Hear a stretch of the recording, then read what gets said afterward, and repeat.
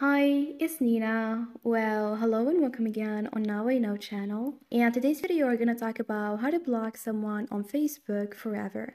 So let's get started.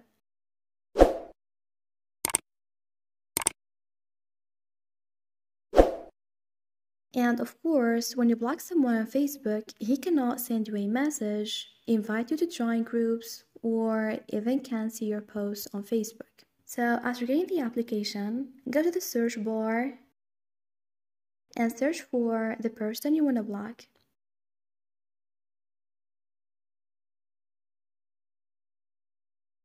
Once you find her, enter to her profile then tap on these three dots. A list of options will appear, so tap on the third option to block her. Then confirm. We're gonna wait a little bit and the person will be blocked forever. So tap on the search bar again and tap on the name and you wouldn't find the person's profile, which means that you've successfully blocked this person. And this is it. Thanks for watching. See ya.